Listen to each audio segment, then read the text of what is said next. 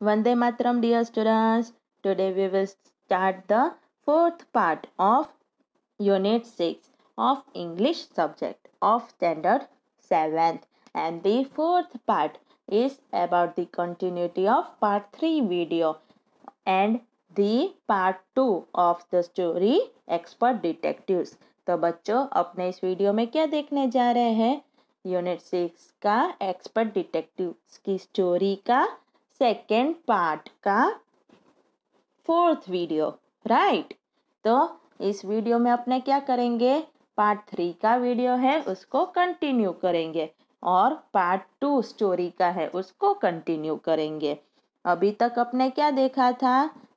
कि निषाद और आ, उसकी बहन माया है वो दोनों क्या करते हैं? जो माया ने फैक्स इकट्ठे किए वो डिस्कस कर रहे होते हैं और फिर दोनों आर्ग्यू करते हैं एक दूसरे के साथ कि मिस्टर नाथ अपराधी है या नहीं है। फिर अब आगे देखते हैं। A brilliant thought occur to me just then that miss man must be mister Nath's accomplice in crime I said अब माया कहती है कि अचानक मुझे लाइट हुई कि वो इंसान जो उसे मिलने आता है वो मिस्टर नाथ का एकम्प्लिस यानी अ हेल्पर इन क्राइम उसके अपराध में साथीदार होगा। Maybe he keeps all the loots and he comes now and then to give part of it to his partner mister Nath for expenses that's it I am sure I am right फिर मैंने कहा कि शायद वो जो लूटा हुआ सामान है, वो वो इंसान रखता होगा। और फिर जब भी आता होगा, तब वो उसके पार्टनर को उसका हिस्सा देने आता होगा, ताकि वो खर्चा कर सके, जो भी एक्सपेंसिस हो। बस, अब मुझे पक्का यकीन हो गया कि यही बात है। If you insist on calling him a criminal I don't think I want to discuss anything with you Maya, says Nishad angrily He can't be such a bad man if he gives Ramesh Ramesh such generous tips अब क्या हुआ निषाद गुस्से हो गया और उसने कहा कि अगर तुम बारंबार वही कहोगी कि वो अपराधी है तो मुझे तुम्हारे साथ कोई बात नहीं करनी है और अगर वो इतना ही बुरा इंसान है तो वो रमेश को इतनी टिप्स हर बार क्यों देता है Ramesh probably know something about his past So Mr. Nath must be bribing him to keep quiet, I said.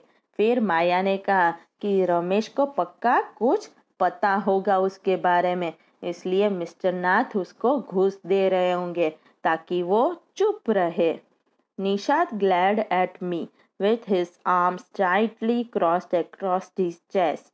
I was beginning to get fed up with him. फिर निषाद ने क्या किया ग्लैड यानी कि गुस्से से देखने लगा और वो अब क्या हो रहा था? पैडअप हो रहा था कि ये बारंबार कौन? माया, मिस्टर नाथ को अपराधी कह रही थी और वो निषाद को पसंद नहीं आ रहा था। How can we make any progress with our investigations if you take that attitude seven I asked फिर माया ने पूछा कि, अगर तुम ऐसा ही एटीट्यूड रखोगे तो अपने प्रोग्रेस कैसे करेंगे इस पर? Seven I will cooperate only if you give up this idea about him being an escaped crook said seven you really make me angry अब सेवन कहता है कि मैं तुम्हारे साथ कॉपरेट तभी करूँगा अगर तुम उसे भागा हुआ अपराधी बोलना बंद कर दोगी, क्योंकि मुझे गुस्सा आ रहा है। I almost hit him I make you angry you stupid oaf I shouted you make me mad तो ओफ यानी उल्लू कहते हैं अपने। तो अब क्या हुआ कि माया ने कहा कि मैं चिल्लाई कि मैं तुम्हें गुस्सा कर रही हूँ। तुम स्टूपिड हो। मैं उसे मार ही देने वाली थी। तुम पागल हो, हो गए हो। What is the point of all these inquiries? If he is not a crook? If you think he is a nobody, what's the idea of bothering about him? Please tell me. फिर मैंने कहा कि अगर तुम्हें लगता ही नहीं है कि वो अपराधी है ही नहीं तो फिर ये सारी इंक्वायरी करने की वजह ही क्या है और अगर तुम्हें लगता है वो कुछ है ही नहीं तो तुम उसके बारे में इतना ज़्यादा क्यों सोच रहे हो Nishad looked thoughtful I had like to find out why he is so thin and why he is so lonely तो निशाद अब सोच में पड़ गया था और वो उसने कहा कि मैं ये ढूंढना चाहता हूँ कि वो इतना पतला और अकेला क्यों है? I want to know why he doesn't have any friends and live alone मैं ढूंढना चाहता था कि उसके कोई फ्रेंड्स क्यों नहीं है? वो अकेला क्यों है? Try to understand seven I told him if he's lived in Shankar house for a year and hasn't made a single friend, there's something wrong. फिर मैंने उसे कहा कि समझने की कोशिश करो सेवन अगर वो शंकर के घर पे एक साल से ज़्यादा रह रहा है और अकेला ही है तो कुछ ना कुछ तो गलत है he is obviously obviously scared that someone will recognise him and give him up to the cops वो पक्का डर रहा है कि कोई उसे पहचान ना ले और उसको पुलिस के हवाले ना कर दे। Maybe no one's tried to make friends with him और शायद कोई उसका फ्रेंड बनना ही नहीं चाहता हो। निषाद प्रोटेस्टेड यानी कि निषाद ने उसका विरोध किया। Why should any one bother you have seen what a nasty bear he is I said Maya ने कहा कि क्यों उसकी कोई परवाह करे? वो कैसा है नेस्टी बियर? नास्टी बियर यानी कि भयानक बाल, भालू जैसा है। माया ने कहा I don't care said Nisha stubbornly stubbornly यानी अडियल ढंग से। I like him and I am going to try and be his friend अब निषाद ने अडियल ढंग से कहा, मुझे परवाह नहीं है। मैं, मुझे वो अच्छा लगता है और मैं जाऊँगा और उसके फ्रेंड बनने की कोशिश करूँगा।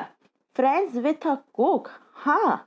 You are crazy seven I said the cops will take you to jail with him do you want that to happen you idiot अब माया कहती है कि एक अपराधी का फ्रेंड हाँ तुम पागल हो गए हो। और तुम्हें पुलिस उसके साथ जेल ले जाएँगी क्या पागल, तुम्हें ऐसा करना है Nishad merely glared at me and quietly walked out of the room. My theory seemed to have made no impression on him at all. अब क्या हुआ कि निशाद सिर्फ़ गुस्से से उसकी तरफ़ देख रहा था और रूम के बाहर चला गया मैंने जो भी बोला, उसको शायद कुछ भी पसंद नहीं आया और इसके साथ अपने क्या होता है? यूनिट सिक्स की एक्सपर्ट डिटेक्टिव की स्टोरी खत्म होती है। किसने लिखा है? Sharada Dwivedi from the Broken Flute में से। ओके तो बच्चों यूनिट सिक्स समझ में आ गया? ओके, तब अपने नेक्स्ट वीडियो में क्या करेंगे?